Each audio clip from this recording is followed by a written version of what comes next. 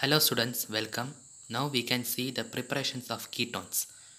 The first preparation is the acetyl chloride is treated with dialkyl cadmium use acetone. See, this reaction can be carried out that they, this reaction can be carried when there are two acetyl chloride. Two acetyl chloride is there, then the reaction is carried out, no matter.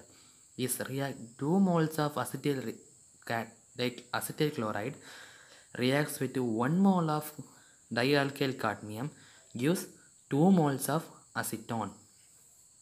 See this? This chlorine and this cadmium leave us CdCl2 and CH3 bond C CH bond O CH3. How many CH3 are there? 1, 2, 3, 4. So you want to balance the equation as putting as 2. So this is the first preparation of ketones. That is 2 moles of acetyl chloride reacts with 1 moles of dialkyl cadmium gives 2 moles of acetone. This is the first reaction of preparing ketones. Second one is Friedel-Crafts acetylation.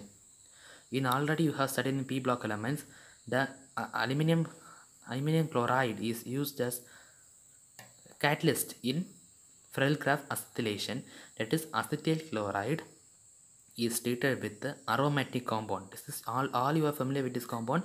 Benzene gives this compound this C O and Cl3 this is the compound so this is an aromatic ketone how they sometimes they ask how will you prepare aromatic ketones aromatic ketones can be prepared with acetyl chloride react with benzene in presence of aluminum chloride catalyst gives this aromatic compound.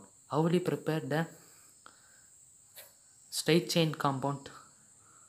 By reacting 2 moles of acetyl chloride with 1 mole of dialkyl cadmium. Use 2 moles of this. Next we can see the physical properties. Physical properties the formaldehyde is gas at room temperature acetaldehyde is volatile liquid up to car- 11 carbon species the liquid is colorless and higher alkanes are solids the aldehyde and ketones have lower boiling point than alcohols and carboxylic acid due to intermolecular hydrogen bonding. Very, very important one word. The aldehydes, aldehydes and the ketones. Intermolecular hydrogen bonding, the bonding take place within the molecule. This is called intermolecular hydrogen bonding. So solubility of the aldehydes and ketones solubility decreases when the chain is increases. The when the chain length is increases, the solubility of these two compounds will be decreases. And dipole moment that you know that oxygen is more electronegative than carbon it tries to pull the shared pair of electron towards itself so that the carbon gains partial positive charge and oxygen gains partial negative sense. Hence, there is a polarity in the C double bond O in the carbonyl compounds. Hope you all understand this section. Thank you.